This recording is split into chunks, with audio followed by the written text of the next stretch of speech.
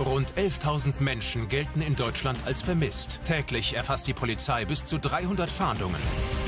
War meine beste Freundin. Wir haben Mist gebaut. Sie ist einfach, sie ist weg. Bleiben Sie ganz ruhig. Wir versuchen jetzt erstmal ganz viele Informationen rauszubekommen. Bleib still! Er wollte mich verkaufen. Es wird alles gut. Hier ist die Polizei. Die Ruhrpottwache. Vermissten Fahnder im Einsatz. Ab nächsten Montag um 17.30 Uhr in Sat 1.